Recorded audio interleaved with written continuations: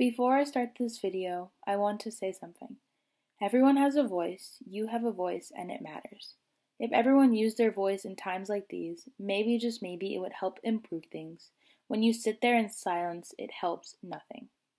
You can donate at the official George Floyd Memorial Fund, the Minnesota Freedom Fund, Reclaim the Block, and Black Visions Collective.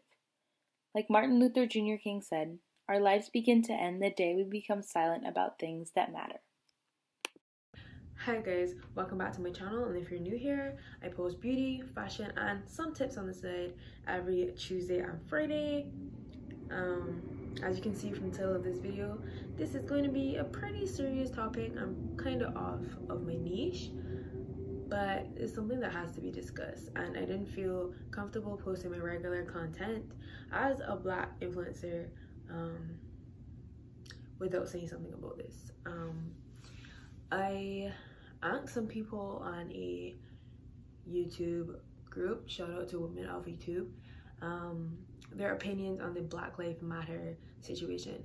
Um, I wanted everyone's opinion, whether they're black, um, white, um, people of color, it doesn't matter. I wanted everyone's opinion and I wanted their honest opinion of what is going on. I also asked some close friends and I'm going to be reading their opinions and giving you my opinion.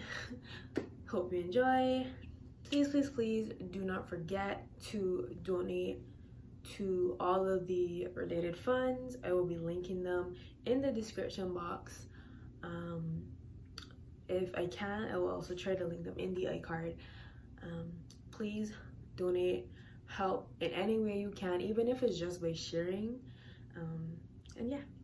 Okay, I'm going to start this video off with a statement by my best friend um, I asked for his opinion because he is in the US right now and I feel like his opinion was really needed as he is right in the middle of the mess as a black man in America. He wrote me kind of a lengthy paragraph, but is worth the read. In 2015, Meek Mill released a freestyle called Cream, in which he said, the revolution shall be televised. We gotta get killed on camera for us to come alive.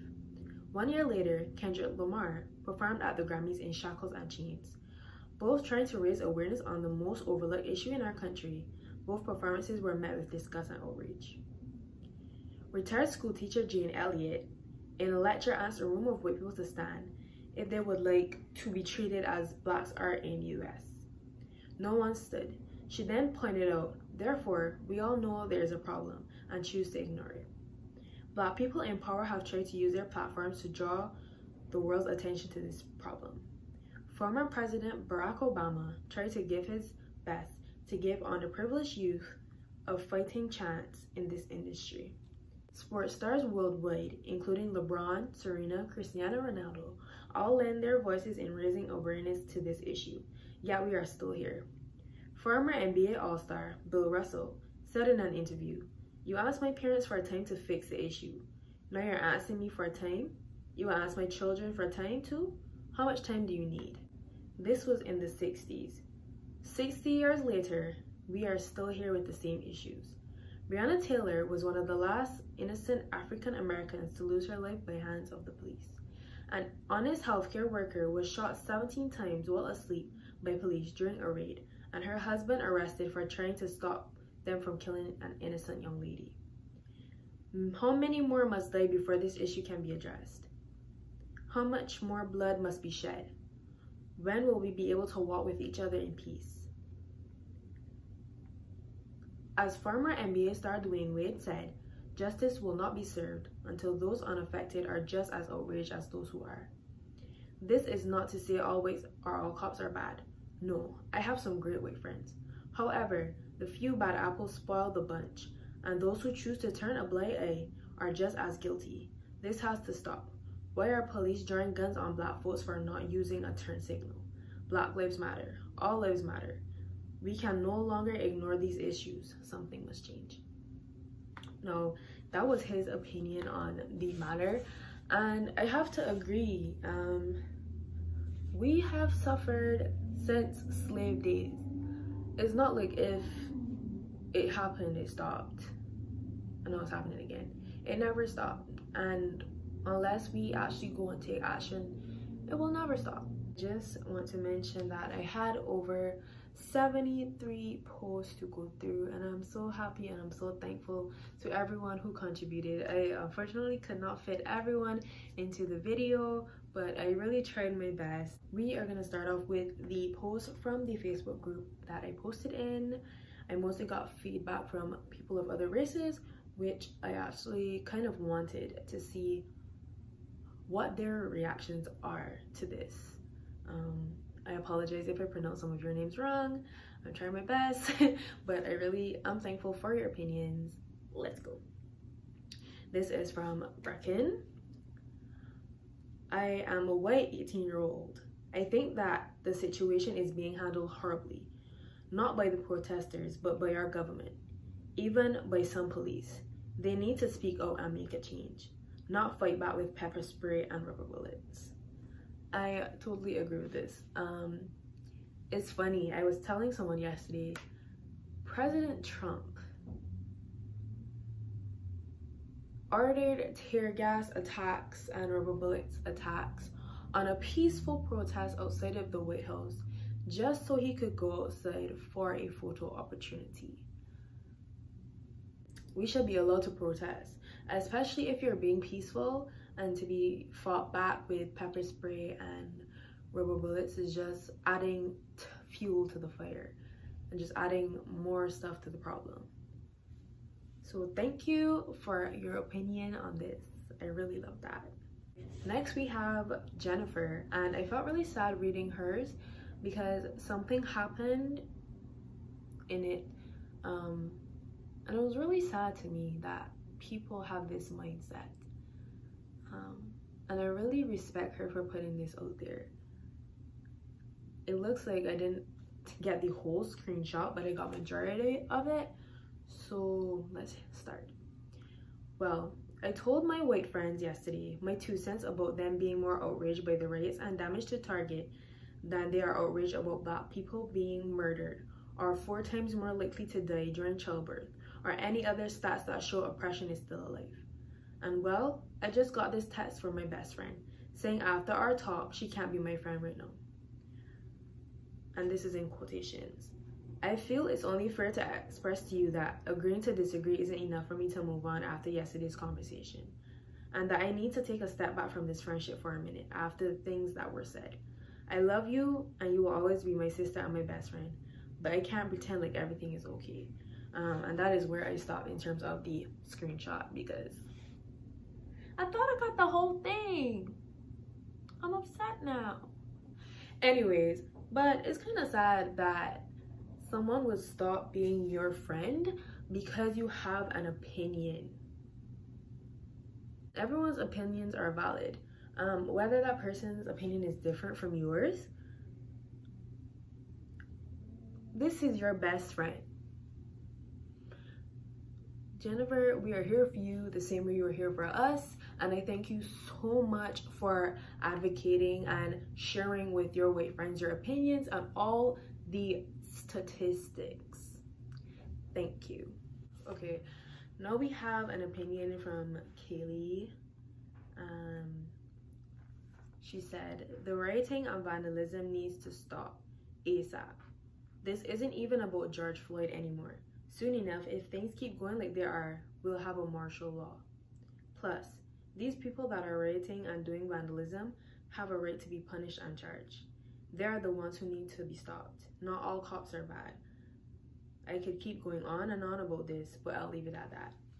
Thank you for being honest about your opinion and not putting a cover on just because you saw a black person ask for some opinions on this matter and not just sugarcoating it. Being honest, I am totally on and off about the whole vandalism thing, the whole looting thing. Pretty on the fence about it. I don't agree with it, but I understand.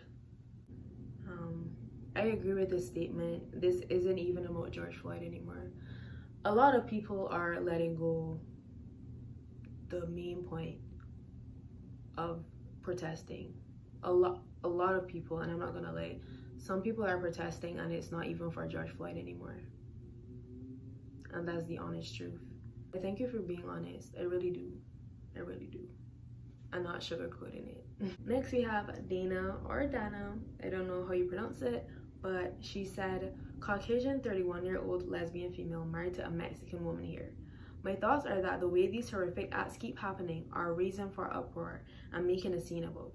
And I think the way our government is handling this, the murder, the protests, the curfews, etc., is taking us back in time to the early signs of fascism that started the Holocaust. See how many lines we can check off based on this poster that was displayed in the Holocaust Museum in DC. We're in a dark and dangerous situation that seems to be beyond control. And I am just going to show the picture that she sent with the early signs of fascism.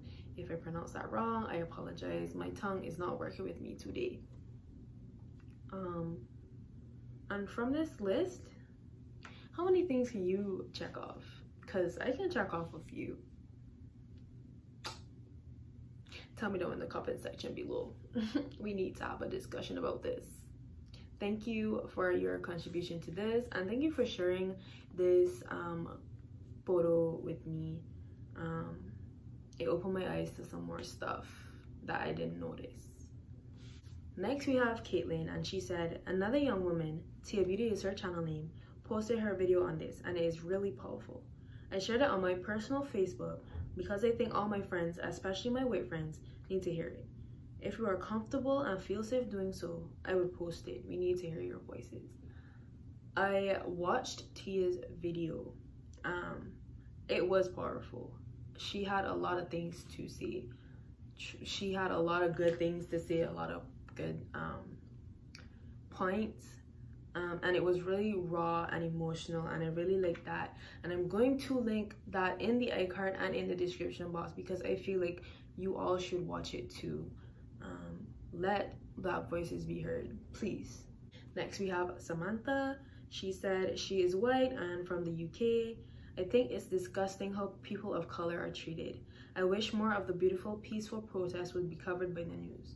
I also don't condone riots and vandalism but I understand people are frustrated Black Lives Matter and I hope that one day they don't have to face the hardship that they do um the phrase that really stood out for me from what she said was I understand.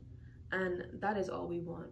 We don't need we don't need people of other races to agree with the writing and the vandalism. We just want you to understand. We want you to understand that we are fed up. We are pissed off. We're enraged. And I really appreciate her saying that she understands. And I thank you, Samantha, for sharing your opinion on this whole topic and speaking your voice. Okay, now we're going to take a break from some of the Facebook posts and hear what some black young ladies have to say about the current situation. My friend started off um, by saying I should include the infamous quote, the child who is not embraced slash raised by the village will burn it down to feel its warmth. And I want to hear what everyone's thoughts on that statement is. Um, what do you interpret from that message? Because everyone is not going to interpret the same thing. Um, and then continue to ask them. I asked how they felt about people including Martin Luther King in this situation because a lot of people are saying that look at Martin Luther King, he started peaceful protest and he got his word across. Now let me ask you something before we continue. What happened in those protests five minutes later? What happened to Martin Luther King? Did racism continue? When you answer all those questions, you still have that same mindset that um, peaceful protests work. Let me know. Let me know in the comments. My friend kissed her teeth and said, we respect his contribution, but they killed him too, so burn it do a little research for me. just a little bit research before you comment on what I just said. Do a little research. Do a research on Tulsa 1921. If you don't feel like doing some research right now, I'm gonna tell you. In 1921, white people mobbed, they marched on the street, they burned buildings down on Black Wall Street, killed multiple black people just to oppress us. They didn't want to see black people succeed. That's the base of it. Research it. Before you come to us telling us about looting, burning, everything, research that. Just research it. Just a little research. You know, a little history lesson. I know that. You want to complain about black people burning a country that we built. The same country you took us from where we were to build, to to you, you are complaining. Hmm. My other friend said, You took us from Africa just to oppress, humiliate, and murder and abuse us for centuries. Then tell us to leave a country that we built. Next, we have a message from Jay, and this was so beautiful to me. Um, I don't, I don't know if anyone is gonna feel that impact that I felt, but this was a short, sweet message and it was said with such honesty and care. Um, she said, I feel so naive and undereducated that I didn't realize how bad it all still was. I'm doing my best to educate myself. I'm reading everything I can, ordering books, sharing petitions, speaking up, telling others, but honestly, I feel so useless. I'm also seeing so many white people who still don't seem to get it that I'm actually starting to resent my own race. And if you can see the beauty in that message, I'm mostly focusing on the fact that she is educating herself. And this is where I keep saying educate yourself before you speak up on a situation you know nothing about. I'm glad she's taking her time to educate herself. She's reading books, she's sharing petitions, um, she's listening to other black voices. Um, um, don't feel useless. Um, as I told her, I replied to this comment, do not feel useless. The fact that you are taking time out of your day to sit and learn is amazing and it's beautiful and it shows that there are some beautiful human beings in this world that hate things as much as we do. Um, so thank you so much, Jay, for sharing that message. Now we have a black beauty. Her name is Princess. And she said, I am a black woman too. And in addition to the George Floyd situation, there have been cases of police killing innocents in my country, Nigeria, which is shocking to me as we are all of the same race. Also, cases of rape with particular reference to a young girl who was raped and smacked to death with a fire extinguisher in a church she went to study. It's depressing to say the least, and it moved me to also make a video expressing my discontent in spoken word form since that's what I do on my channel. I'd love to see the video when you are done. Um, I am going to link her spoken word um, videos, her channel in the iCard and in the description box. Um, wow. That's all I have to say. Please remember that it exists in black majority countries, racism still unfortunately exists. Um, there's a lot of black on black racism, and a lot of people think that black people cannot be racist. But I know a lot of black people that are racist to their own kind. Um, um, is, is ridiculous, and to other people. Rape thing, I have to look more into that, but that is disgusting to say the least that is disgusting we live in a disgusting world and i never thought that i'd still be saying that at my age but we really live in a disgusting world it's amazing to see so many people standing up and realizing that there is an issue. Um, I am going to end this off with two messages from two of my male friends. Um, very short, but I feel like it's best to end this with black males because they are mostly targeted. Um, my friend said he is waiting for black people to get pissed off even more because they aren't hearing and start to hmm, this is being the start to start shooting at the police um, i don't agree with this but you can hear the anger in what he just said um, people are tired it's been years it has been years and we are all tired um, and he also go, went on to say, people who think looting is wrong because it's destroying people's businesses amaze me. Like killing lives and racism is okay. Okay. Like people wake up one day and just start looting. No, no.